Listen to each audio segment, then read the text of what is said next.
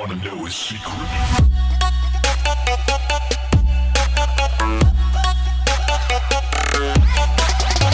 Hey, what is up guys? Grenader here. Welcome to another episode of After Effects tutorials and today I'm going to show you how to animate in 5 minutes. So I'm going to edit this and I'm going to add a solid in the back just so you guys can see what I'm doing because you can't really see what I'm doing if the background is white. Boom. Okay, so I'm going to animate this and I'm going to make it kind of like an intro. So this is where your creativity comes in in your mind to just kind of play out how you want it to go and you can do that. So uh, firstly let's um, add a keyframe because we, we're going to add a lot of keyframes. Uh, hit P on your keyboard and that um, will indicate uh, the position stuff. You click on the little stopwatch hit um, S for scale R for rotation and that's it. So now hit U on your keyboard and you should have all these three things. So again, P is for position, S is for scale, and R is for rotation. And you want to do this like almost in the middle of the timeline so that way uh, when this is how it's gonna look at the end of all the animation we're gonna do. So we're basically working backwards. So this is what it's gonna look like. And so now uh, let's say I want the position I want it to come from the right. And so now if I go through this, it's coming from the right and it ends here. So again, a keyframe is basically a point in time where After Effects knows that it has to be there at a certain spot and have certain settings done at a certain time. So there we go, we got that. And um, let's see. Another thing we could do is we could add a scale so we could make it small. So just change this to zero. And so that way when it comes out, it does this motion thing like that.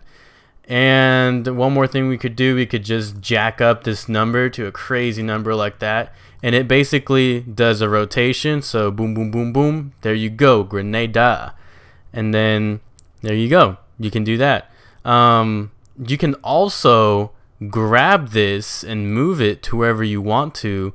And it will move wherever you want to. And then you just move. So I can do that and do that and then have it end over here.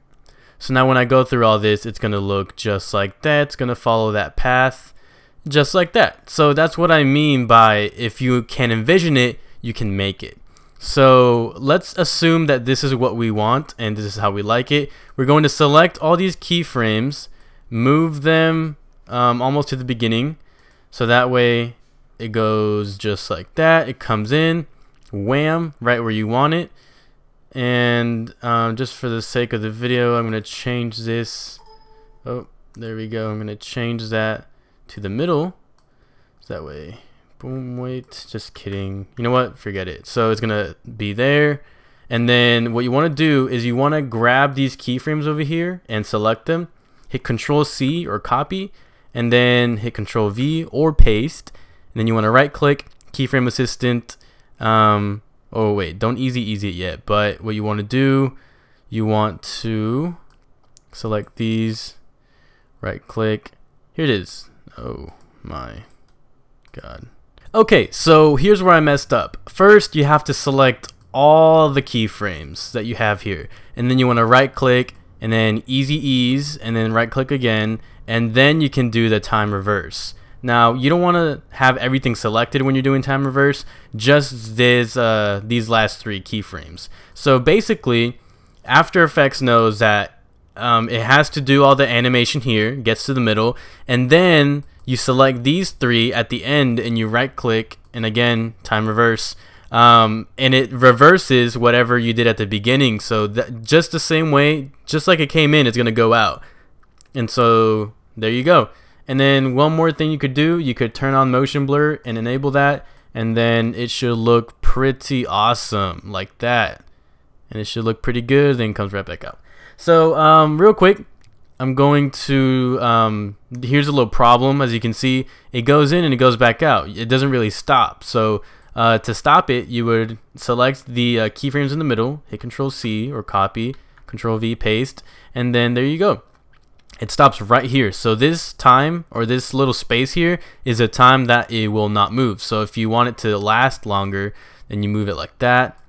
and then it just lasts there and then it goes away and same thing for the animation if you want to speed that up you got to close up this gap here just like that and it will um, in turn go faster so the animation will be much faster it'll land there and it'll go away just as fast and then that's pretty much it guys. So hopefully you guys enjoyed the video. If you have any questions let me know in the comments down below. Hopefully this was under five minutes like I promised. I'll probably have to do some cutting and some editing because I messed up a couple of spots because I mean I don't do this all the time but I, I basically know the basics of it. So thank you guys for watching. Peace out